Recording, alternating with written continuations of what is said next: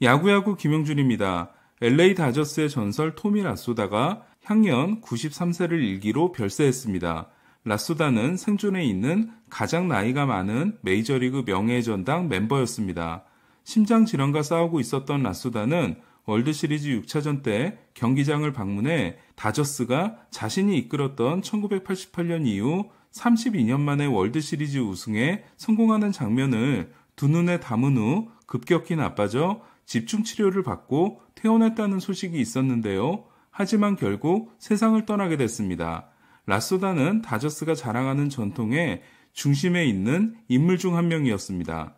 다저스는 과묵하기로 유명해서 더 콰이어트 맨이라는 별명을 가지고 있었던 월터 올스턴 감독이 1954년에 부임해 무려 23년 동안 팀을 이끄는데요. 1976년 정규 시즌 4경기를 남겨놓고 은퇴를 선언합니다. 이에 3루 코치였던 48살의 토미 라소다가 다저스의 새로운 감독이 됩니다. 재밌는 건 라소다가 과묵한 올스턴과는 반대로 정말 시끄러운 사람이었다는 겁니다.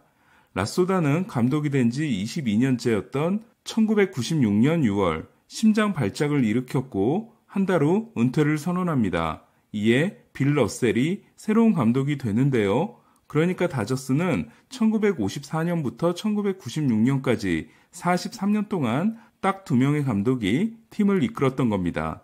라소다의 풀타임 첫 시즌이었던 1977년 다저스는 월드 시리즈에 진출합니다. 그러나 양키스에게 6차전에서 지게 됩니다. 다저스는 이듬해에도 월드 시리즈에 올랐지만 또 양키스에게 6차전에서 지게 됩니다. 1977년 6차전에서 레지 잭슨에게 초구 홈런 3개를 맞았던 다저스는 1978년 6차전에서도 잭슨에게 홈런을 맞습니다. 하지만 라소다의 다저스는 발렌수엘라가 신인 싸이영상을 따낸 1981년 또 양키스를 만나 이번에는 6차전에서 승리하고 1965년 이후 첫 우승을 차지합니다. 그리고 오렐 허시아이저가 맹위를 떨치고 1차전에서 제대로 걷기도 힘들었던 커크 깁슨이 데니스 에커슬리를 상대로 대타 역전 끝내기 투런 홈런을 날린 1988년에도 월드시리즈 우승을 차지합니다. 이에 라소다는 역대 22위에 해당되는 1599승과 월드시리즈 우승 두 번을 만들어내는데요. 우리가 알고 있는 1500승 우승 2회 감독은 2728승과 월드시리즈 우승 3번의 토니 라루사, 2003승과 월드시리즈 우승 3번의 브루스 보치, 1702승과 우승 2번의 테리 프랑코나입니다. 그리고 1892승의 더스티 베이커와 1551승의 벅 쇼월터 두 명만이 1500승 이상을 거두고도 월드시리즈 우승이 없는 감독들입니다. 라소다 감독은 한국과도 깊은 인연을 가지고 있는 것으로 잘 알려져 있는데요. 물론 양아들만 수백 명이긴 했지만 1994년 박찬호 선수가 처음 입단했을 때 각별히 챙겨준 것으로 유명했습니다. 그리고 우리가 준결승전에서 만나 편파 판정으로 패했던 2000년 시드니 올림픽 때 미국 대표팀을 이끌었던 사람도 토미 라소다였습니다. 라소다의 시대는 피터 오말리 구단주와 함께 다저스의 자체 생산 능력이 정점을 찍었던 시대였는데요. 라소다 감독의 시대 다저스는 1979년 릭 서클리프, 1980년 스티브 하우, 1981년 페르난도 발렌수엘라, 1982년 스티브 섹스, 신인왕 4연패를 하더니 다시 1992년 에릭 캐로스, 1993년 마이크 피아자, 1994년 라울 몬데시, 1995년 노모 히데오, 1996년 토드 홀렌스워스까지 신인왕 5연패를 만들어냅니다. 그러니까 18명의 다저스 신인왕 중 9명이 바로 토미 라소다 시대에 나온 건데요. 여기에는 선수들의 잠재력을 이끌어내는데 탁월한 능력을 보여준 라소다의 공도 컸습니다. 물론 지금의 시각으로 라소다는 좋은 감독이 아닐 수도 있습니다. 그는 선수의 투혼을 이끌어내는 감독이었지만 그만큼 혹사에서 자유롭지 못했습니다.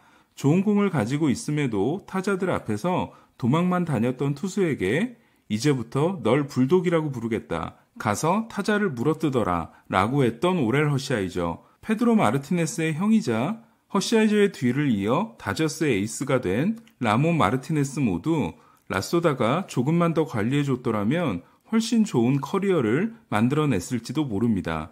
라소다는 프레드 클레어 단장과 함께 페드로 마르티네스의 진가를 알아보지 못했고 빌리 빈의 오른팔로 빅마켓 구단에 도전했던 폴 디포데스타를 몰아내는데 앞장섰고 자기가 다저스에 입단시켰으며 팀의 간판 선수가 된 마이크 피아자가 1억 달러 계약을 요구했을 때도 반대했습니다. 또한 스티브 가비로부터 외골수라는 말을 들었을 정도로 고집이 지나치게 셌고 베테랑이라고 존중하는 법도 없었습니다. 그러나 그는 살아있는 다저스였고 다저스를 위해서라면 어디든 달려갔으며 비록 체이스 어틀리를 설득하지 못했지만 다저스 입단을 고민하는 선수들을 만나는 것도 그의 몫이었습니다.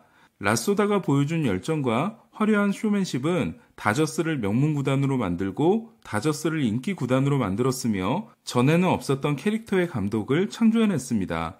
1927년 9월 28일 생인 라소다에게는 1927년 11월 30일 생으로 40년 지기였던 빈 스컬리가 있는데요. 스컬리 역시 불과 이틀 전 76세 부인이 세상을 떠나는 일이 있었습니다.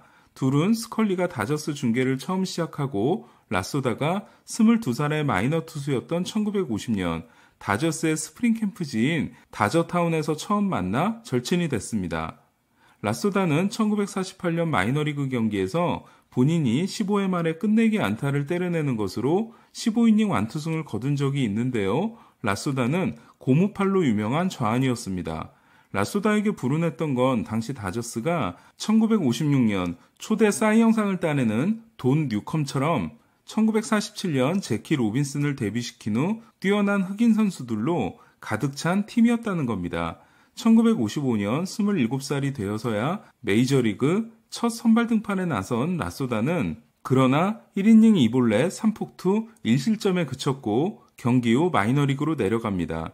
이때 다저스는 라소다를 대신해 19살짜리 신인 좌안을 데뷔시키는데요. 바로 샌디 코팩스였습니다. 라소다는 훗날 이에 대해 내가 코팩스였으니까 순순히 내려간 거야 라는 농담을 합니다.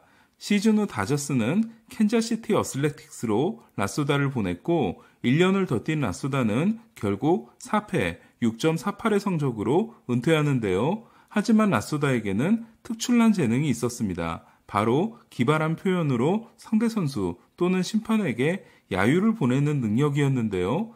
은퇴 후 스카우트와 마이너리그 코치 감독, 메이저리그 코치를 거친 라소다는 양키스 마이너리그 코치 시절 랄프 하우크를 만나 다음과 같은 조언을 듣습니다. 네가 선수들을 인간으로서 대하면 그들은 너를 위해 슈퍼맨이 되어줄 거야. 그때부터 메이저리그 감독을 꿈꾼 라소다는 메이저리그에서 마지막 공을 던진 후 20년이 지난 1976년 다저스의 감독이 됩니다.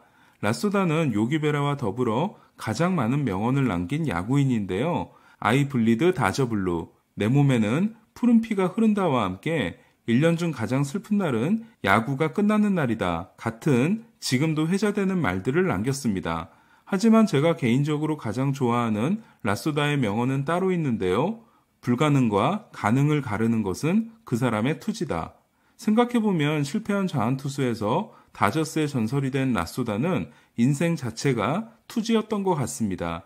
템파베이 블레이크 스넬이 월드시리즈 6차전에서 빠르게 교체되는 장면을 보면서 머리로는 이해하지만 가슴으로는 받아들이기 힘든 요즘 선수들에게 넌 해낼 수 있어를 외쳤던 라소다 같은 감독이 그리워지기도 합니다. 푸른 피가 흐르는 다저스의 영원한 2번, 3가 고인의 명복을 빕니다.